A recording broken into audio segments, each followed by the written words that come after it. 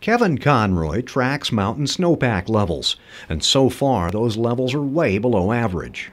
We're sitting about in the 20% range for, for snowpack or, or water content, uh, which is fairly low. Today's levels are at 24% of the average for this date, and that could spell trouble later on.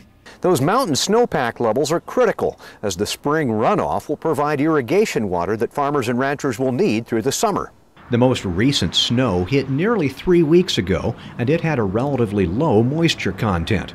But Kevin Conroy says it's too early to panic. I don't think so. I mean, it's, the weather here is pretty unpredictable. You never know. You could have a dry fall followed by a really wet uh, spring. So I think it's just time to hope for the best for, for a lot of snow in January, February, March.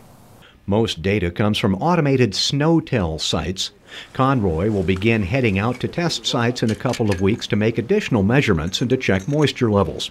Those measurements will play a key role in how much water farmers get next spring. I think we usually have a pretty good handle by March, late February, March, uh, what the water year is going to look like. The irrigation season normally gets underway in early April. In Klamath Falls, this is Lyle Ahrens, NBC2 News.